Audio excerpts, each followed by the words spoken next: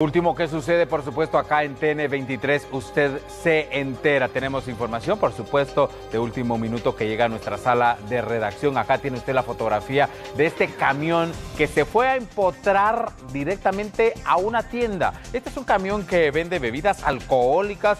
Se fue a empotrar hace algunos minutos a la cuarta calle y primera avenida de la zona 1 capitalina. Hasta el momento se desconoce cuáles fueron las causas por las cuales pues, el conductor del mismo perdió el control y se fue a empotrar precisamente en esta tienda que estamos viendo en pantalla. Se menciona que hay dos personas con heridas de gravedad. Estas dos personas en estos momentos están siendo trasladadas al Hospital General San Juan de Dios. Los bomberos municipales están cubriendo la emergencia de esta situación que se está viviendo en estos momentos cuando son las 7 de la noche con 42 minutos. Informe de última hora que llega a la sala de redacción de TN 23 desde la zona 1 capitalina.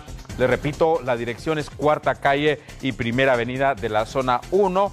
Cuando este camión que reparte bebidas alcohólicas se empotró, fue a chocar, fue a dar directamente con esta tienda que estamos viendo en estos momentos en pantalla, la cual, pues, lo cual, pues, este accidente, esta situación provocó dos personas con heridas de gravedad. Este percance vial, cuarta calle y primera avenida, zona 1, capitalina.